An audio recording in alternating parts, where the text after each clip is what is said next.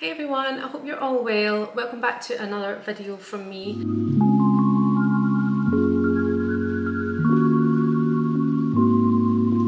This week I thought I would sit down and do a little Q&A. I have collated quite a few questions from my Instagram account, my TikTok account and I've also had a few questions from you guys some of my subscribers and I thought it would be nice to actually sit down and talk you through these questions rather than just try and answer them in one sentence.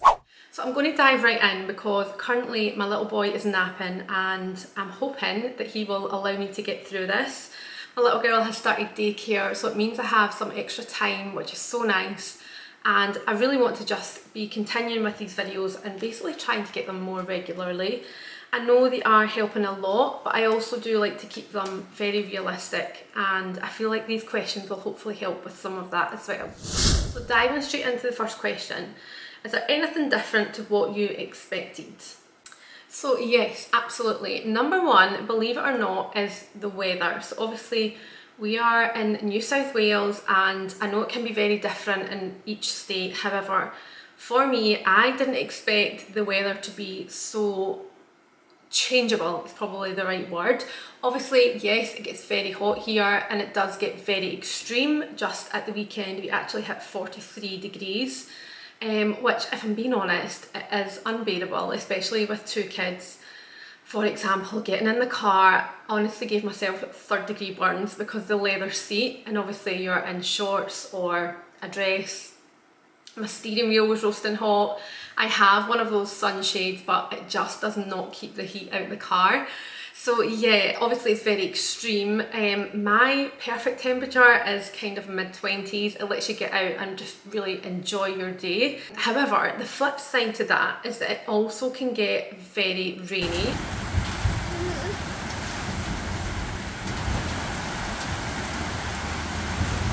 And I know someone had let me know this in the comments before I think it was when I was talking about why people would want to have a tumble dryer here and today I am hating the fact that I don't have a tumble dryer. My washing pile is so high because for the last two days it has rained and when I say rain I mean like it, oh my goodness, it comes down at some rate and the thunder, the lightning, it's so extreme. However, I will caveat that by saying that it does only last a couple of days and then the weather is back to being nice and clear and to be honest that's all I really ask for. I'm not asking for direct heat all the time but you know just to have a nice warm day, no rain, it's just so nice and it's so livable here. But yeah, it's something that I definitely didn't expect. Obviously when we arrived as well, I think we arrived in autumn um, more so moving into winter, but it got very cold. Obviously the houses here are not built to keep the heat in, they're built to get the heat out. So when it comes to the kind of cooler seasons, it does get very cold. And one of the things I wish I had brought over was, I'm going to say house coat, and I think people would probably call it dressing gown, but I get very cold at night and in the morning. So yeah, I would definitely say the extreme weathers. I kind of was led to believe that it was just hot all year round. Um, and although the weather is lovely, it's actually quite nice to have it different. You know those days where it's overcast and it's maybe like 23, you're so grateful for it because you can get things done and you can get out and about. And then it's always maybe a few days later it'll get really hot and by that point you're ready to go and enjoy it and you don't feel like you've got a list of things that you're trying to do in this extreme heat all the time. So although it was very unexpected, it's actually quite nice that it's different all the time. Second one is working hours. So I can't really talk on me because currently I don't work, but being over here with Ewan, I feel like it's definitely a different work work culture here than the UK. So for example, Ewan works in the construction industry and again, it's probably different from potentially those that work in an office environment, but his hours, he is away for 11 hours every day. And for me being on my own with the two kids, I find this extremely difficult, especially not having any help at breakfast or dinner time. I mean, if I could pick any, it would definitely be dinner time when everyone's just exhausted, The kids are just tough and you're trying to do it all on your own. It's very hard. But when we were in talks about coming over, the contract was always explained that it would be a 30 hour contract and I do appreciate that construction industry never goes that way, but um, it's almost like his hours are just expected that every day they work these kind of two to three hours more than what their contract is. And also he works weekends as well. And again, coming from the UK, it was very, he, he I don't think he ever worked the weekends um, because they're very against it. I would say the UK has more of a work-life balance and, and what I mean by that is that they they don't like you to work extra especially in construction especially in that industry it's kind of frowned upon um, whereas here I definitely feel that he works he works more hours here and we did talk about this I will link it below if there are males watching this video and are keen to know his perspective on it we done a video on this and yeah Ewan kind of opened up about that and the different hours than what he was used to in the UK. So I'll link this video, um, just click above and you can watch that if you want. However, yeah, that definitely I feel like that's something that was a big shock to me and also when we arrived, Ewan was working literally a week after we arrived. Um, it's just been tough, it's been tough and I feel like Ewan's work has made things tougher for us both, not just for me. Um, I know it was a big shock to Ewan as well. So that's something that, yeah, we definitely, both of us got quite a fright about. Um, and one of the things that are making it quite tough. Number three, probably quite a funny one, but something that I did not expect was the toilets. So toilets when you go into cafes back home, it's almost, probably as a law in fact, that you have to have a toilet um, with any place that's serving food or coffee, there has to be a toilet in that building. And that's not necessarily the case here. Now, I will again caveat that by saying I've never been in a situation where I haven't been able to get a toilet. However, you tend to find that a lot of cafes here will hand you this key and tell you the toilet is maybe two or three buildings down the road or next door or they share it with another facility and it's just something that is quite different from the UK. Now for me, being a mum of two, this can be quite difficult. You can't even leave your food, you've got to uproot everyone to then go to this toilet and then come back and just hope that your table's there, you know? Do you know what I'm saying? It's just, it's a bit different. Um, however, like I say, we haven't ever been in a situation where we haven't had access to a toilet and the public toilets here are so nice. Again, I've only been in a handful that haven't been very clean. Majority of them are super clean and especially the ones by the beach. I was really shocked at how clean and tidy those were. Again, talking from back home, any public toilet that's outdoors, you just avoid. Here, yeah, it's very nice that they're super clean and well maintained. And then finally, I think the only other thing that I can think of at this time that I didn't expect was quite a sad one actually, but how lonely um, I would feel. I definitely feel a whole sense of loneliness that I've never really felt before. Um, and that probably has to do with Ewan's long hours, um, being on my own with the kids all the time and just not really making any connections as of yet. And obviously we have been here almost a year, but we have moved four times now. So we've never really been in a place long enough to secure those like long-term friendships. I think where we are should open up those doors because we do have a lot of families here. There's a big community. There's lots of things that go on in terms of kids clubs. There's even like little hobbies.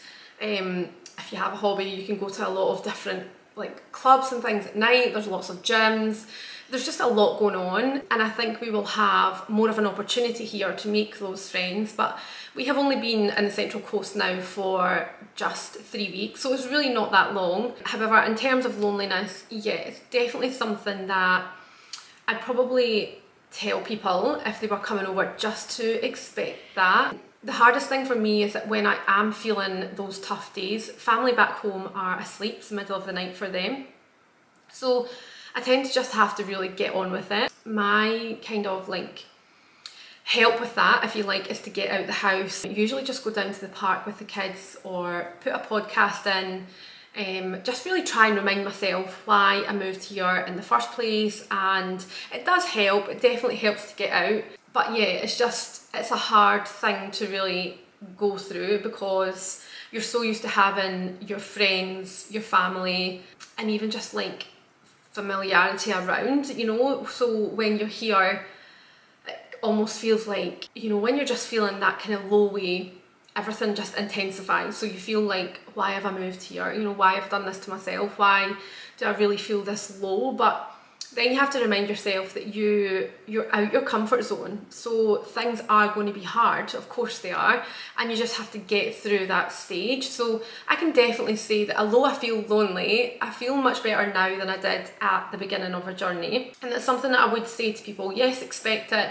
but just try and get through it. Put things in place I know for me as well this is actually one that I would give as a tip to people but TikTok and Instagram are actually very good for connecting with other people not necessarily in your direct area but connecting with people who are on the same journey. And I've actually met a few girls online that are in different states but they're going through the same journey. So they've felt the same feelings or they are feeling the same as how you are. And it just helps to have kind of messages back and forth.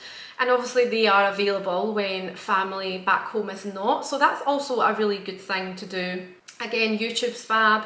You can just go on and watch other people's videos and yeah you just then feel like okay this is normal what i'm going through and things will get better. It just takes time. So next question is another instagram one. Hey kim can i ask how long did it take you until you felt confident driving in the roads over there?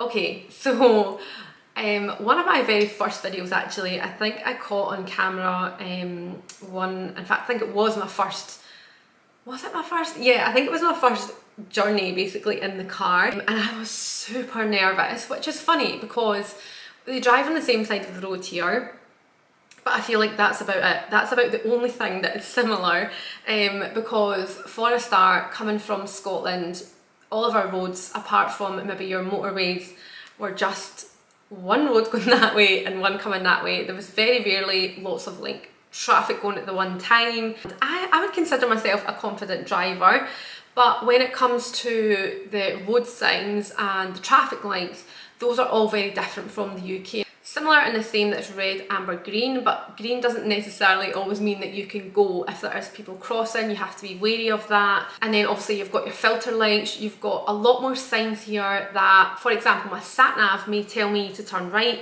and then there's a big sign in front of me that says no right turn. So you just have to be very wary and obviously again I basically had to retrain myself whilst I was living in the city centre of Sydney. So I mean it doesn't get much worse than that does it? Literally I was panicking every time I went out.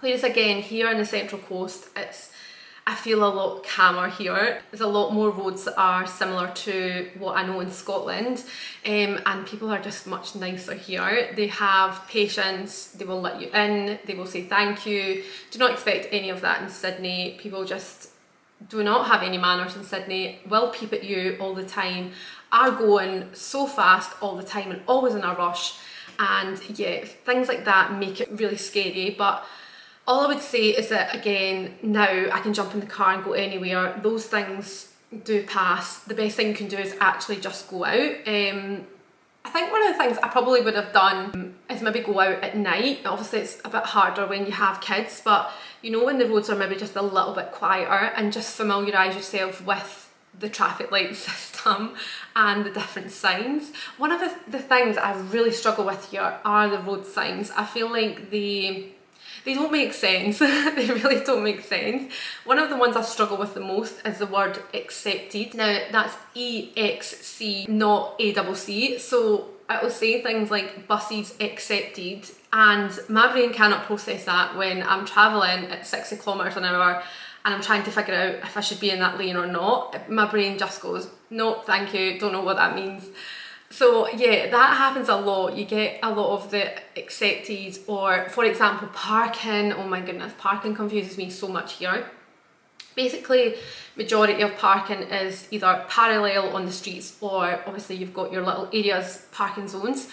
Um, but the ones that are parallel, they always have signs that will say like one one, two, or, or three, or whatever, um, which means you can park here for one hour or two hours, um, and that's fine. But then underneath it, it will say something like, but not on a Wednesday, Thursday, Friday, not between the hours of 4 a.m. and 12 p.m. like it's just you literally are like can I park here or not I just need a yes or no answer that's it so again those the amount of times that I've drove into a space and I look at the sign for a good 12 minutes and then I just reverse back out because I just don't know if I can park there or not that's the only thing I would say is very very confusing and I know a lot of people who have had a parking ticket um, they are hefty fines so yeah, basically for me, if I don't understand it, I just don't park there. But in terms of actually driving, yes, it's fine. The only thing I'm still struggling with to this day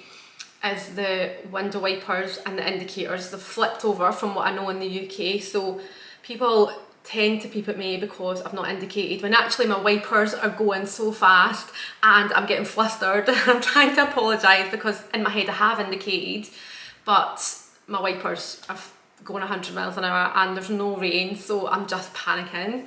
So I'm still struggling with that. Obviously with the rain being on the now it's, a, it's making me confused even more because I'm having to use my wipers so my indicators go and then people peep because I'm indicating to the left I'm not, I'm going straight ahead and yeah, you can see how hard it is. So my next question was a comment on TikTok asking if there was anything that I regret not bringing over from the UK and I'm quite simply going to answer that by saying yes and that is my cat. I have shed many tears over this um, and she is with family, she is in the best home that she could possibly be in but it really really kills me to talk about her because I I got Minnie myself um, and she was my first pet and she was my first baby that I went and literally got myself and brought home to the first flat that me and Ewan got together and I remember Ewan being dead against it and then I appeared with her as you do and he totally fell in love with her and we had her for seven years. She basically went through everything with us from moving house to then having a tough time with miscarriage and then having two beautiful kids. She got to meet them and just, it just killed, kills me to this day that she's not with us. Um, obviously, it's a huge journey and everyone has to make decisions based on how they feel at the time. Um, and I strongly feel that Minnie may potentially not have made it over here. She's a very tiny cat and gets very stressed easily um, being anywhere other than our house. So we had to make that decision and it was very tough. And there's days here where I just really miss her. I feel like if you've not had a pet, you won't understand. But yeah, that's probably one of my biggest, I don't even know if I can say the word regret because even if somebody could, you know, ship her over to me just now, it's something I would really have to think about because I just don't, I truly don't think that she would make it. But it's something that I would definitely tell people to just take time and think about. You know maybe even potentially like leaving them with a family member until you feel settled enough to really make that decision. But it's a it's a really hard one. I think dogs are definitely different but she is having the best time um, and I'm so lucky that we do get to check on her now. Currently I still can't even see her on like FaceTime calls because it just it kills me, it really really kills me um, and I'm going to move on now because I'm feeling myself getting upset. so the next thing that I definitely regret not bring, bringing over, warmer clothes is definitely one. Um, and again, not for right now, but those months where it does just get a little bit cooler. The fashion here is definitely different to the UK and it is one of the things I miss a lot. I actually ended up giving away a lot of my clothes, friends, family and also charity shops. But you know what? I really wish that I brought quite a lot of them over a lot of them that I think about in my head, I actually packed away not even having a second thought about because I genuinely thought I'm never ever going to need them over there so there's not even any point in questioning it. Whereas now, yeah, there's a lot of things that I'm like, I would love to wear that today or I should have just kept that. And when I go shopping here, I just really can't find a fashion that mirrors what I had in the UK Here is very, very laid back. Shorts and t-shirts are just kind of worn by everyone. One of the things that I definitely love here is that there is no like brands, you know, like you don't see anyone really wearing brands. I think the the one that I see the most is like, is it Billabong? I don't even know if I'm saying that right. Um, possibly because where we are is a very like big surfing community, but you really really do not have to worry about feeling like you're wearing a certain brand. It's just not materialistic here whatsoever and it's one of the things that I genuinely do love. But when fashion is your identity, it's really hard to go somewhere and wear things that you're really not that comfortable in. And don't get me wrong, during the week I do love just, you know, having shorts and t-shirt on. It's so much easier with the warmer weather. But when it does start to cool down, I really, really miss getting ready in the morning and enjoying my outfit. I'm a huge kind of fashion lover and especially when it comes to my style, it's not your leggings salt baggy jumpers and I just do struggle a little bit here so I wish I'd brought a lot of my clothes over. Kmart just doesn't do it for me when it comes to that kind of fashion.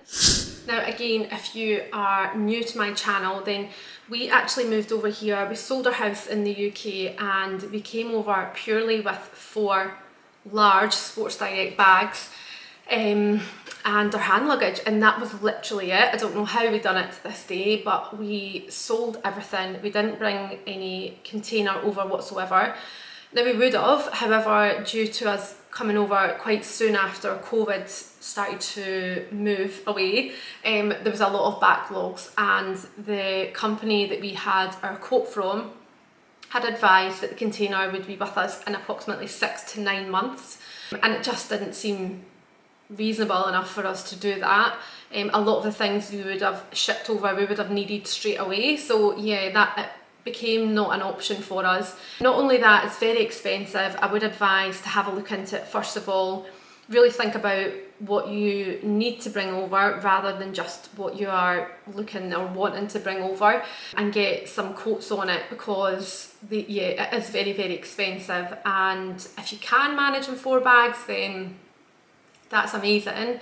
And we managed to buy a lot of things and we came over here from marketplace. Facebook marketplace is fab here.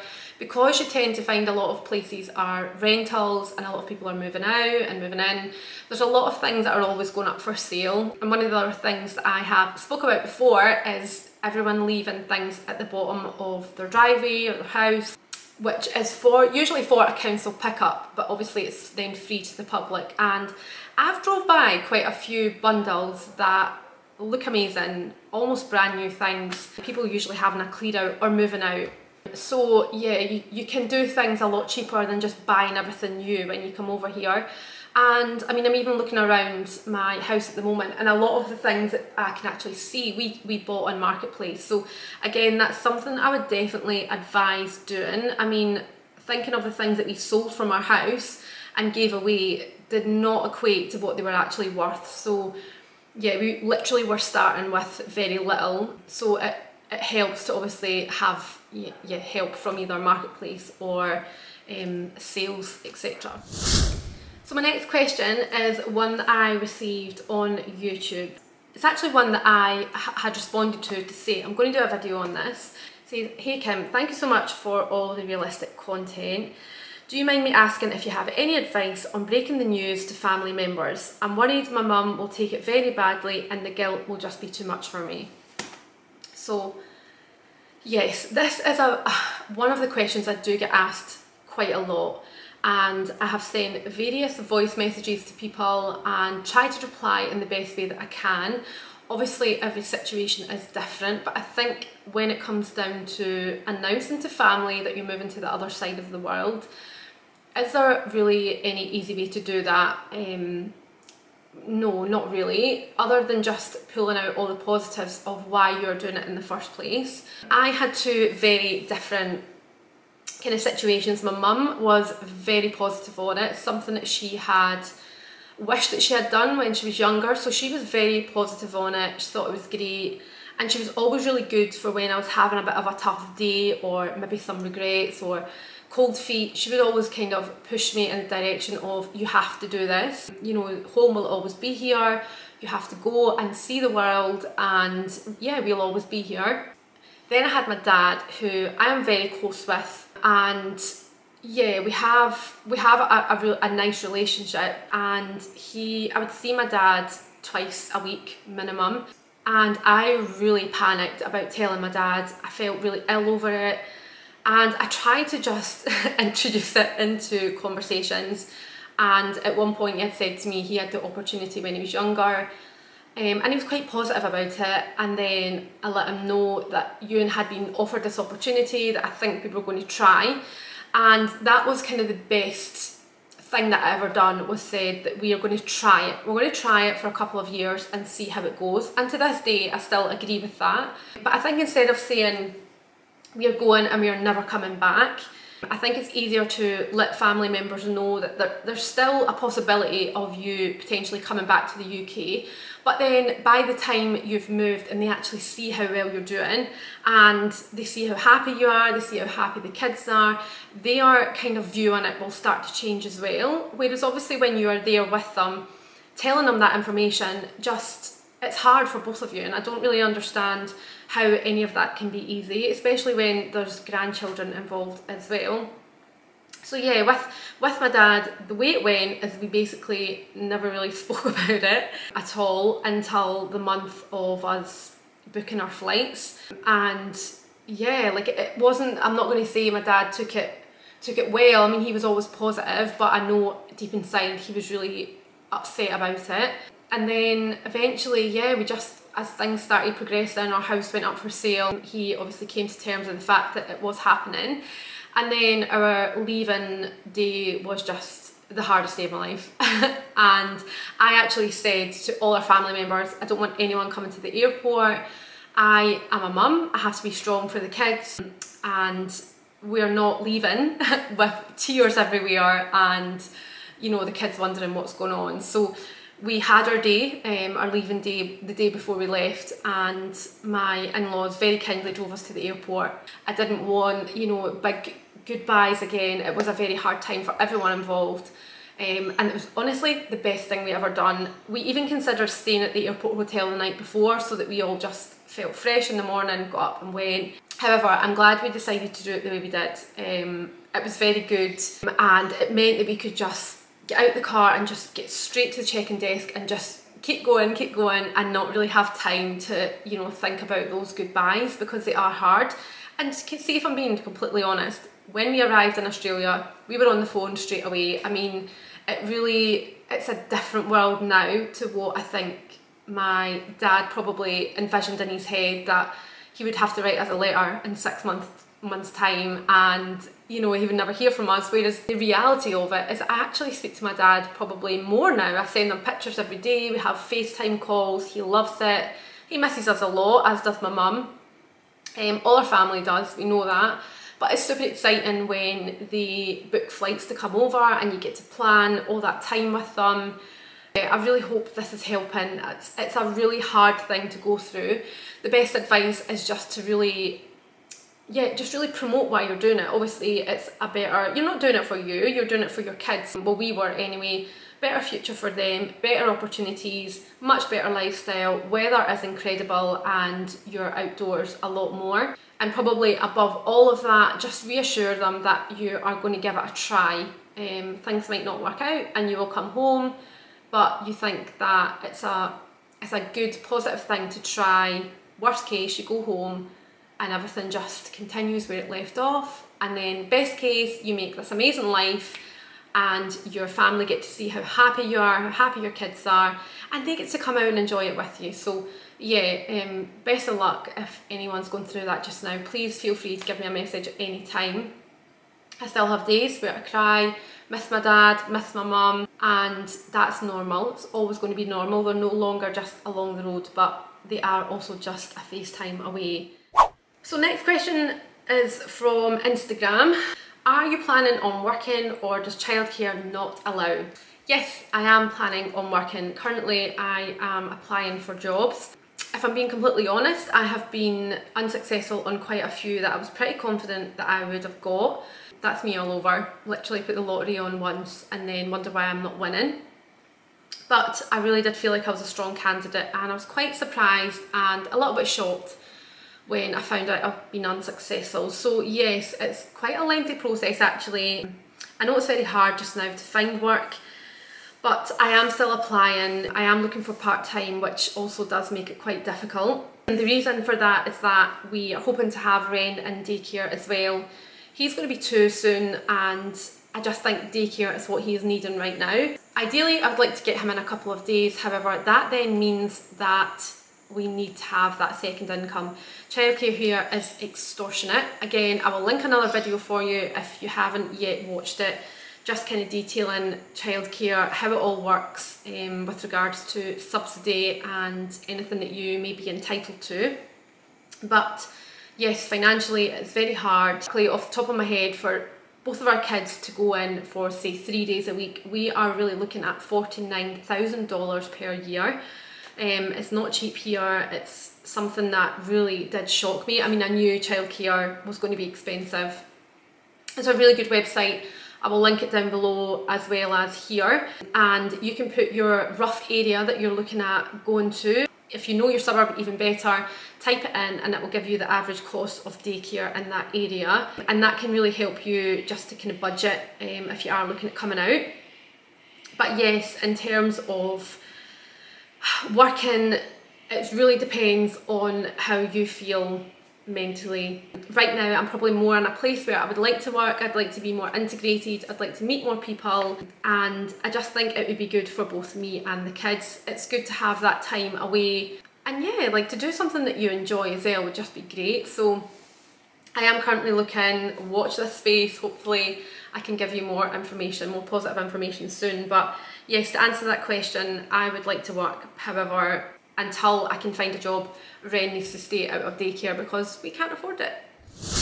So only another couple of questions left. My next one is actually from TikTok, I'm sure.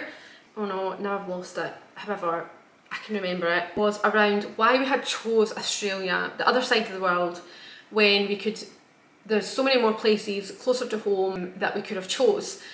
So it was more so on the fact of lifestyle. So again, going straight back to the beginning, I was actually very keen on Canada and Ewan had kind of had an interest in Australia. So we looked at both of them individually, looked at various things from cost of living to childcare, education, work, all those kind of things and Australia just ticked more of the boxes for us. Obviously as well the culture is very similar kind of to the UK, obviously driving the same side of the road, speak the same language and one of the things I actually quite like about here as well is that Australians and the Scottish, I feel like we are very similar. We have the same kind of like I'll, the only word I can think of is banter. I don't even know if that's a word that's used in um, Australia, but yeah, we have that same like kind of sarcastic tone. Don't really take life too seriously, and I just really like that. You know, I, I think it's a good, I think it's a good mindset and good way to be. But Australia definitely has that. Obviously, Ewan being able to get a, a visa, sponsorship visa, was a massive tick for us as well. And then finally, having that relocation package for us that was it, you know, kind of secured for us. Um, we didn't really then look at anywhere else and I was very excited. I was really looking for that kind of beach lifestyle. So why would you not move to Australia? It literally has the most amazing beaches ever. So yeah, that's why we thought, let's go for Australia then. And then let's just give it a shot. If it doesn't work, then we can always try somewhere else. The world is huge and it's not going anywhere. I have lots of different kind of friends and acquaintances that work and live in various places of the world and all seem to be doing it very well. So if something doesn't work, I do believe that it's not just a case of giving up, you just try somewhere else until you find somewhere that you really feel like you could call home. So yeah, that's hopefully that answers that question. Then the very last question, which was from YouTube, is what do you miss other than family? So I wrote a list and so the very first one I've already touched upon, but is the fashion. Next one is European city breaks. Um, I, I really miss them. I was such a kind of like city traveller, me and Ewan used to go on a lot of city breaks and you always picked up really cheap flights or like little cheap weekends away and I really enjoyed that. Whereas I feel like Australia's so big um, that you tend to just travel around more within your state. Obviously you can go to other states as well but just for example, Perth is a five hour flight from us and I think until you're really here and living here you don't really appreciate just how big Australia is. Saying that, we have been to some gorgeous areas and we've only been here obviously less than a year but we have been to some amazing places and we will be going to a lot more, don't get me wrong, but I just miss those European city breaks and also like holidays, like resort holidays. I really, really miss them, which sounds ridiculous because I live in Australia with the beach on my doorstep. But you know, when you're just packing for your two week holiday and you've got all your nice outfits, you get on the flight, you get there, you get your cocktails, your dinner made, you're just, for two weeks, you just like completely turn off and you're in this like five star resort yeah like I, I just missed that however I have had a look at a few resorts here now, albeit we would be driving to them, but I think we're going to book them. So again, watch a space and I'll see how that kind of compares. If I feel like I'm in holiday mode or I feel like I'm just still in Australia. we do have a holiday booked. Um, and if you're coming to Sydney, um, I know that Fiji and Bali are very, very popular and doing a quick search online, very affordable as well. So that's probably somewhere in the future that we will go. This year we are doing a cruise and I'm excited for that. I love cruising and we're getting to see other areas of Australia as well. So that's also something to look forward to. But yes, definitely miss European city breaks. Then my next one is Edinburgh. Miss it so much. I've always loved Edinburgh. Probably my favourite city in the world. And do you know what I miss the most is the old buildings, the history, just everything about Edinburgh. I just really, really love it. Then the next thing is cold water.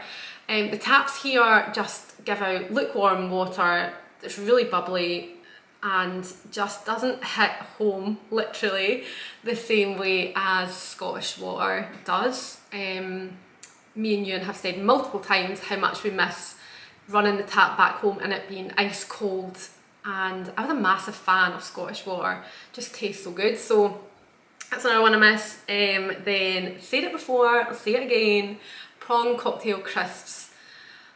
I miss them so much. And I'm so annoyed at myself because we've had family over and literally my mother-in-law was like anything you need?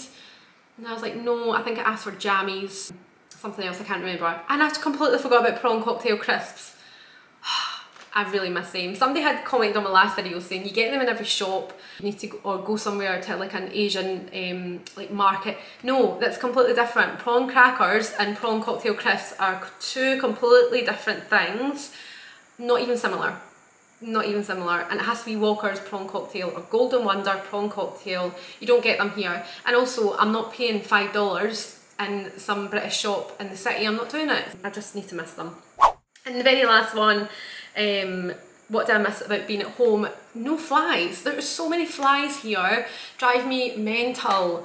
It's 10 times worse here in the Central Coast. We have fly things, we have a fly swat, we have so many anti-fly things and they still manage to get in and annoy me so much. We are constantly chasing a fly around this house.